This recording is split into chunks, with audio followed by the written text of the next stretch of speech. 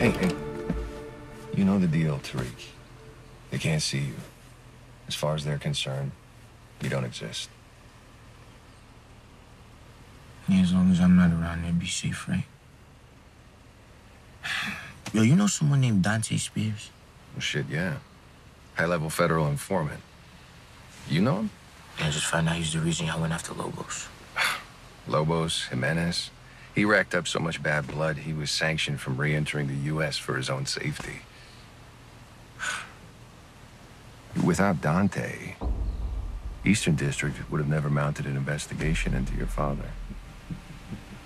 Angela and him? Who knows? That's what I thought.